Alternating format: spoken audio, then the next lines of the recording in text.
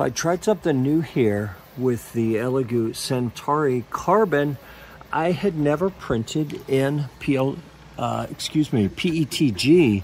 I had some of this uh, Creality PETG, the CR PETG here that I've had for quite a while and uh, just hadn't got around to using it on the Neptune 4 Max, which sadly is just kind of sitting here now that the Centauri Carbon has arrived.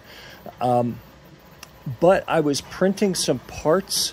Uh, one of my kids uh, has been experimenting with some archery stuff and needed a sight and a arrow rest printed for a compound bow or, or, you know needed them and i said hey let me print some and printing in uh, this is some Elegoo PLA right here didn't necessarily do what I wanted. It was a little bit too brittle. So I said, okay, let me break out this uh, Creality PETG and see how it does since it should be a little bit more flexible. I had been kind of afraid to print that on the uh, Neptune 4 Max. I just heard too many horror stories about how uh, challenging it is to set up and get, get, get good prints out of it. Well, I just used the generic PET profile within the Elegoo slicer and pulled this right off of Thingiverse and printed it. And look at that.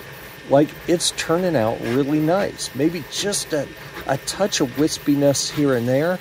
But overall, like that is a very serviceable, very usable print and I really had to do nothing to the Elegoo Centauri Carbon to make that work. That is just blowing me away.